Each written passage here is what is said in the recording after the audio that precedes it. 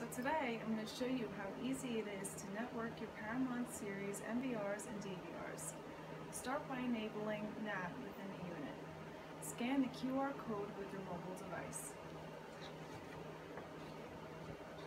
Enter your password, hit save, and the device will connect automatically. Then just select the cameras you want to view. It's that simple.